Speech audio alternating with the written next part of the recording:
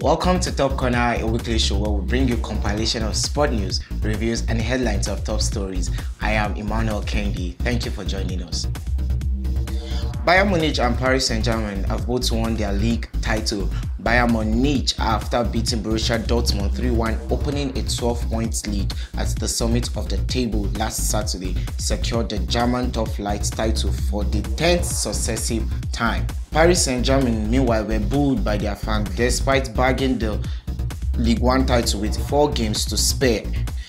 Chelsea legend and Cote d'Ivoire striker Didier Drogba has fallen from the race of becoming the president of the Ivorian Football Federation after finishing third in the election held last Saturday.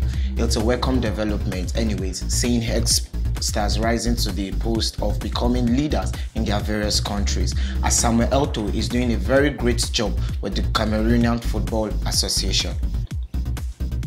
The Champions League was packed with action as Man City edged out Real Madrid in a 7-goal thriller at the Etihad.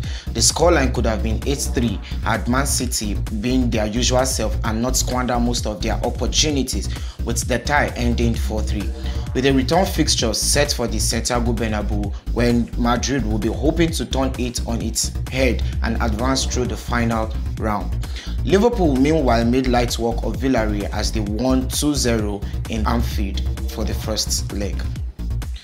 Chelsea boss Thomas Tuchel has admitted that the current situation of the club is having a negative impact on the club. This is due to the sanction placed on the club by the government and he hopes that a new change in the ownership will bring a relief to the club. Nigeria international Umar Sadiq has refused to rule out a return to Serie A giant AS Roma. Umar is currently enjoying a scoring form in his present club, Almeria. He said he needs to focus on his career and returning back to AS Roma in the future will not be a bad idea. On Thursday afternoon, Mino Raiola sent a message to his followers on Twitter about his health condition. The football agent condemned the previous news going on on social media about him being dead, and his friend, close friend, Jose Fortes Rodrigues, has confirmed that Mino is still alive. Jurgen Klopp on Thursday evening announced in a video posted to Liverpool Twitter account that he has signed a new contract with the club which will run till 2026. His previous contract was due to expire in 2024. Let's see what this means for Mo Salah, the Egyptian who is yet to pen down another new contract for the club despite attracting interest from clubs all around Europe.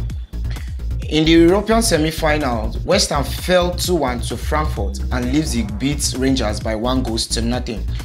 Both games still very open as the second leg will be played next week, Thursday. In the Europa Conference League, Marseille was beaten 2-3 at home by Feyenoord while Roma and Leicester play a 1-1 draw.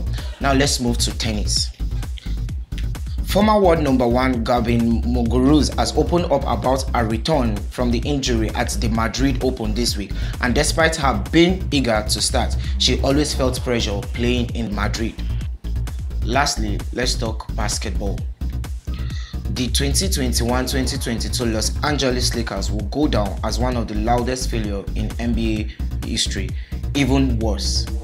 Their 33-win campaign marks the culmination of a voluntary two-year roster overhaul following the utmost validation of successful roster building, an NBA championship achieved by a team with depth, a mix of old and young, two defined stars. Thank you for joining us on the show today, Top Corner. See you next week.